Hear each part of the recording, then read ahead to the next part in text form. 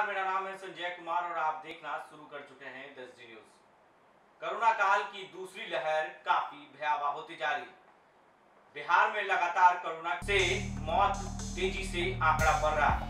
वहीं बिहार की अस्पतालों की स्थिति भी अच्छी नहीं है।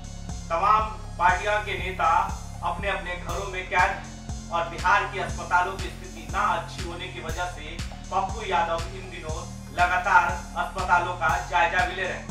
जब पहली लहर भी थी कोरोना की, उसी तरह पप्पू यादव पहली लहर में भी लोग जब प्रवासी मजदूर बाहर से आ रहे थे तो पप्पू यादव मदद कर रहे थे। इस बार दूसरी लहर है तो पप्पू यादव फिर से सड़कों पर अस्पतालों में दिख रहे हैं।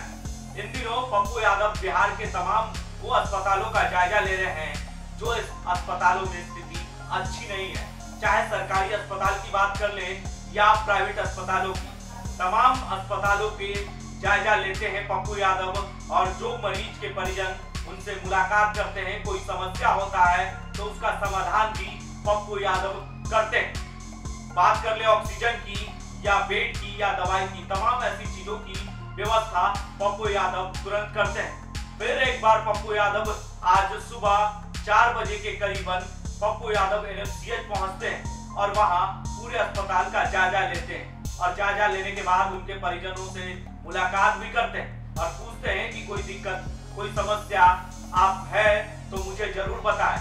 और वो भी कहते हैं, परिजन उनसे जब पूछते हैं कि, सर, ये समस्याएँ हैं हमें तो वो कहते हैं कि व्हाट्सएप मुझे किया कीजिए व्हाट्सएप पे मैसेज कर कर मुझे बता दिया कीजिए, मैं तुरंत व्हाट्सएप चेक करूँगा और उसका समाधान भी जल्द से जल्द करूँगा।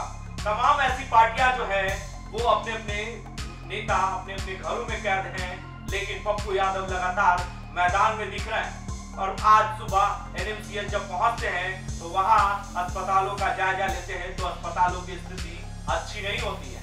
24 घंटे से करीबन कई डेड बॉडियाँ जो है, कोरोना की मरीजों की मौत के बाद बेड पर पड़ी हुई है।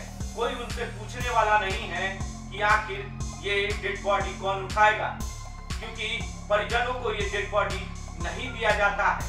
सीधे सरकार के कोई भी व्यक्ति जो स्वास्थ्य कर्मी है, वो डेड बॉडी को ले जाते हैं और खुद इसे दाह संस्कार भी करवाते हैं। लेकिन 24 घंटे से करीबन अधिक हो चुका लेकिन इसका डेड बॉडी कोई उठाने वाला नहीं। जब पप्पू यादव को ये बातें पता चलती तो पप्पू यादव स्वास्थ्य विभाग के कर्मी को फ़ोन लगाकर ये जानकारी भी देते और पूरे वार्ड का जायजा लेते हैं। तस्वीर आपके सामने है कि किस तरह से पप्पू यादव जायजा ले रहे हैं और जो लोग उनसे मिलकर अपनी समस्या भी बता रहे हैं। ये तस्वीर आपको पटना के सबसे बड़ा कोविड अस्पताल है, एनएमसीएच, जहाँ स्थिति अच्छी नहीं है। इस तस्वीर के माध्यम से हम आपको छोड़कर जाते हैं। पूरी तस्वीर देखिए कि किस तरह से पप्पू यादव लगातार वार्डो का जायजा ले रहे हैं।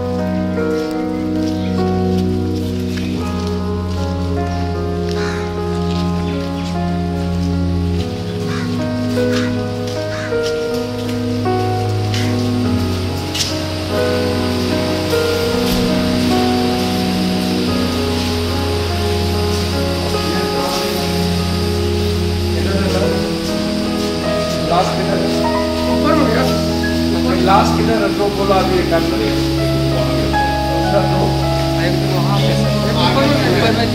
तो लड़का किधर क्या बोला दो है।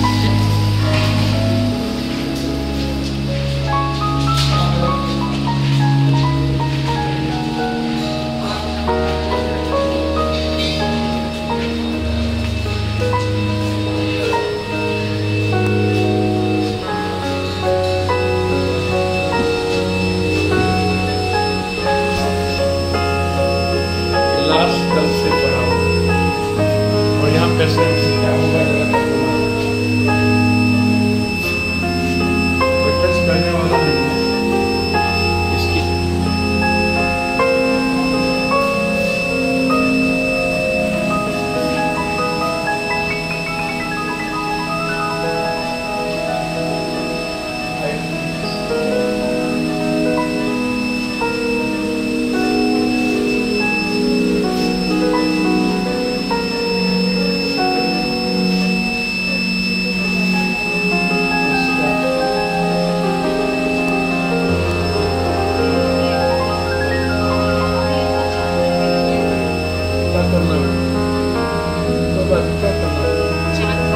चला जाएगा आपका बहुत दूर तक चैनल लोग डरते हैं इसी चीज़ों से।